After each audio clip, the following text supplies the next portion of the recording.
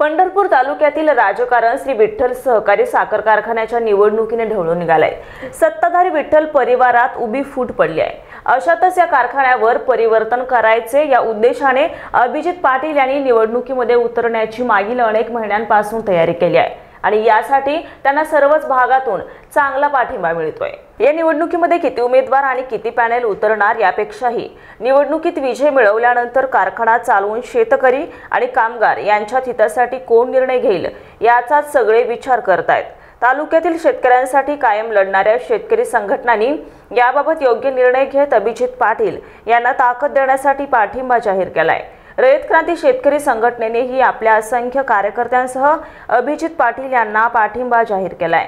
यावेळी रयत क्रांती शेतकरी संघटनेचे जिल्हाध्यक्ष दीपक भोसले छगन पवार नंदकुमार व्यवहारे समाधान साळुंखे ऋषिकेश पवार सौरभ गाजरे बाळकृष्ण बोबडे प्रदीप कदम संतोष शेळके विजय वाघ यांच्यासह अनेक पदाधिकारी कार्यकर्ते उपस्थित होते.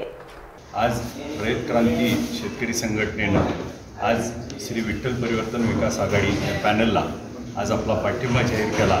त्याबद्दल मी सर्व संघटनेचे प्रमुख माननीय सदाभाऊजी खोत साहेब तसेच या महाराष्ट्राचे कार्याध्यक्ष दीपकजी भोसले साहेब तसेच सर्व त्यांचे पदाधिकारी यांचं मनपूर्वक स्वागत करतो व आभार मानतो की त्यांनी साखर कारखाना आपला विठ्ठल बंद आहे तो सुरू करण्यासाठी जे पाऊल उचललं आहे खऱ्या अर्थानं मी या निमित्तानं शेतकरी संघटनेला आश्वासित करतो की ज्या संघटनेनं मूक गाभा त्यांचा जो आहे की कारखाना चालला पाहिजे आणि तो कारखाना चालवण्यासाठी खऱ्या अर्थानं आपण जो पाठिंबा दिला आहे तर मी या निमित्तानं आपल्याला कारखान्याचा काटा असेल तो क्लिअर ठेवून शेतकऱ्याला पहिल्याच वर्षी विठ्ठलचे आपण पंचवीसशे रुपये बिल देऊ शकतोय. आणि त्याचबरोबर कारखाना हा चांगला महाराष्ट्रामध्ये चालवण्याच्या दृष्टीनं आपल्या सगळ्यांचं सहकार्य लागलं तर महाराष्ट्रामध्ये परत एकदा विठ्ठल कारखान्याचं नावलौकिक करण्यासाठी